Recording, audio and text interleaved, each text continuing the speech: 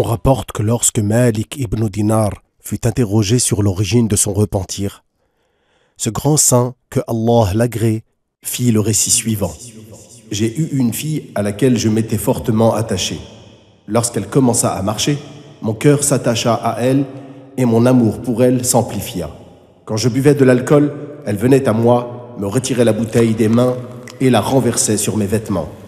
À l'âge de deux ans, elle mourut et mon chagrin était immense. Lors de la quinzième nuit de Sha'ban, c'était d'ailleurs une nuit de vendredi, je m'endormis, ivre, sans même avoir accompli la prière du Isha. Je vis dans mon sommeil les gens des tombes ressuscités et les créatures rassemblées. Alors que j'étais ainsi, j'entendais un bruit inquiétant derrière moi. Je me retournai et je vis un serpent immense, d'une taille et d'un aspect que je n'avais jamais vu. Ce serpent était noir-bleu. Il avait ouvert sa gueule et se dirigeait vers moi rapidement. Je pris alors la fuite, terrifié, empli de peur. Et là, sur mon chemin, je rencontrai un homme âgé. Ses habits étaient propres. Il était beau et il sentait bon. Je lui passai le salam. Il me le rendit et je lui dis Venez à mon aide, secourez-moi. Il me répondit Je suis faible et le serpent est plus puissant que moi.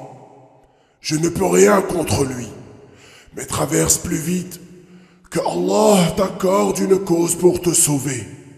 Je m'enfuis alors et je gravis un endroit sur l'une des stations du jour du jugement. C'est alors que l'intensité et le danger du feu de l'enfer m'apparurent et je faillis y tomber. J'avais peur de ce serpent gigantesque qui était toujours à ma poursuite. Soudain, j'entendis une voix qui me disait Reviens, tu ne fais pas partie des gens de l'enfer. Cette voix m'apaisa et je revins en arrière. Quant au serpent, il était toujours derrière moi et me talonnait.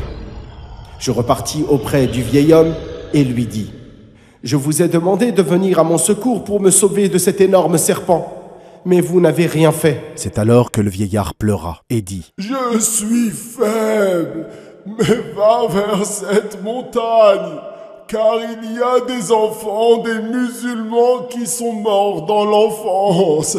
Si tu en as un parmi eux là-bas, il t'aidera. Je portais mon regard en direction d'une montagne de format arrondi.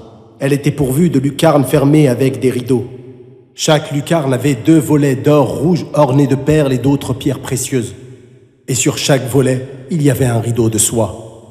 Je regardai vers la montagne et m'enfuis dans sa direction. Le serpent, toujours derrière moi, continua de me suivre.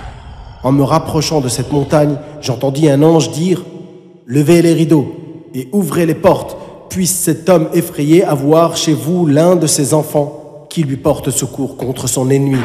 C'est alors que les rideaux furent levés, les portes ouvertes, et des enfants apparurent avec des visages comme autant de lunes. Le serpent se rapprochait et j'étais inquiet. Alors un enfant se mit à dire Venez tous, il s'est trop rapproché de lui. Ils vinrent tous, groupe après groupe. C'est alors que j'aperçus ma fille. Elle apparut avec eux en se dirigeant vers moi. Et lorsqu'elle me vit, elle se mit à pleurer en disant C'est mon père, je le jure par Allah. Puis elle sauta dans un nuage de lumière, comme une flèche, jusqu'à parvenir auprès de moi. Elle me prit par l'une de ses mains et tendit l'autre vers le serpent, qui prit fuite. Ensuite, elle me fit asseoir et s'assit sur mes genoux.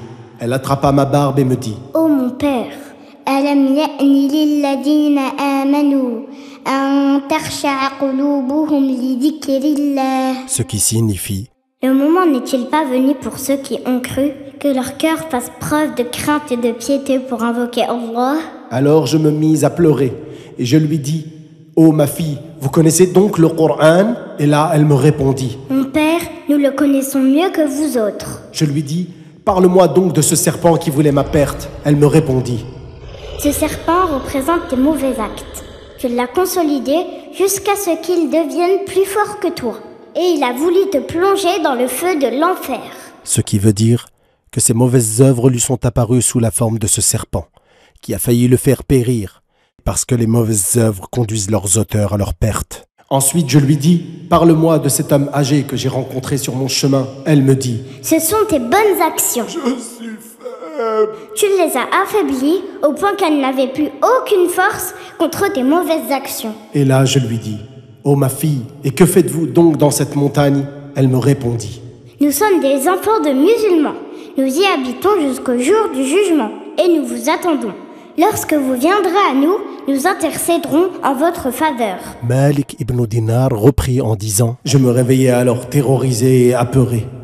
Puis au matin, je délaissai tout ce que je fis auparavant et je me repentis à Dieu. Voilà ce qui fut la raison de mon repentir.